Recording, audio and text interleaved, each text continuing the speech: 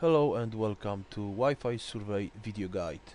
In this video I will show you how to create folders on SD card which we need to use with Wi-Fi Survey. What we have to do is we have to go to Android Market and click on the search and type Astro. This is the simple file manager. Uh, it should pop up as a first application from the top. Then we have to click on it and click install.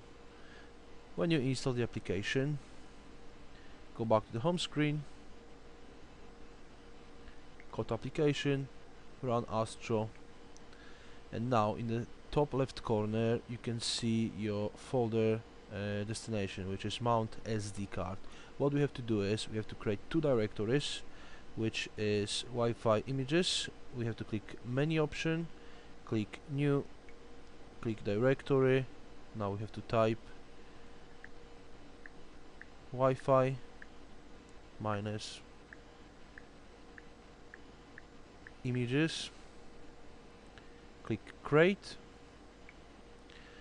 Now we have to scroll to the directory.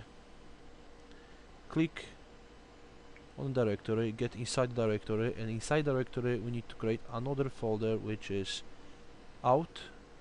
So we have to click menu new directory and the folder names out. Create and that's it.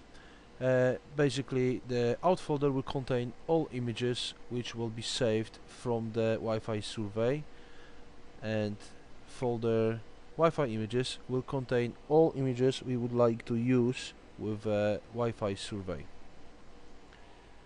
If you experience any problem please contact me at www.wifisurvey.mobi and click on contact us.